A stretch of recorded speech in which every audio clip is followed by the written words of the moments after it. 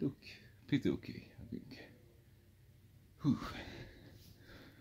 Have a nice day. Adios.